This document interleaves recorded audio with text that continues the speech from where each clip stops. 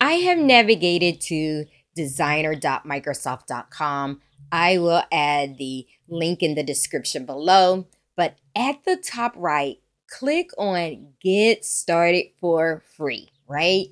And sign up with your personal Microsoft 365, Xbox, or Windows or account. And you even have the ability to create one.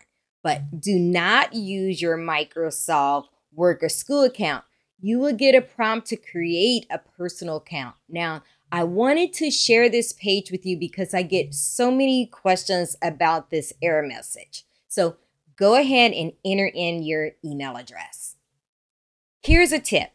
I added the word designer in my new account name. You know, it will help later to help me know which account is used specifically for the designer account. So hit next. This page will request your, you know, your password or if you want to receive information or tips.